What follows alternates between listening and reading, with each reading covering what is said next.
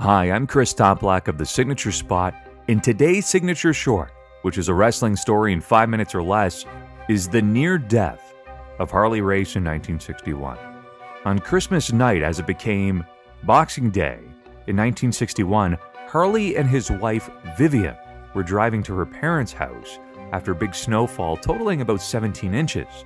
Their car and a tractor trailer full of eggs were both approaching each other on different sides of the hill, with a snowdrift at the very top. The truck driver ended up swerving into Harley's lane to avoid the snowdrift, and then swerved again to avoid Harley and Vivian's car. Unfortunately, this proved to be unsuccessful, as the cab and trailer would jackknife and collide into Harley and Vivian's car head on, which sent their car reeling about 80 feet. Both Harley and his wife Vivian were both pronounced dead at the scene since their pulses were undetectable.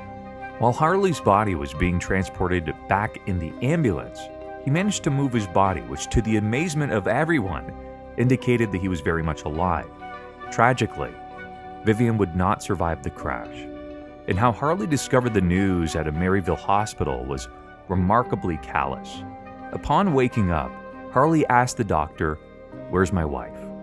The doctor responded with, What wife? You don't have one. Had Harley been in a condition to get out of bed, he likely wouldn't have had a doctor either. Vivian was buried the same day, and the couple were only married for one month and were actually expecting a baby. Doctors were prepared to amputate Harley's right leg, but fortunately, Race was sent to a St. Joseph bone specialist for second opinion, where the conclusion was to save the leg. A doctor named Joby Kolowski performed the operation, which was successful. Beyond the physical pain of the two metal braces and 12 pins holding his shattered forearm together, along with four screws in his right knee, there was the emotional pain of losing his wife Vivian. They had only been married for one month. As for Harley's physical condition, Dr. Kolowski informed Race that he would be lucky to walk again and his wrestling career was effectively over. Race would respond with, I'll send you ringside tickets to my first match. It took Harley 21 long months to recover, while wearing braces on his legs for 18 of them, plus another three months to recuperate. Upon returning to the ring, Harley invited Dr. Kolowski, who operated on him, to ringside, where the doctor cheered on Race in his return.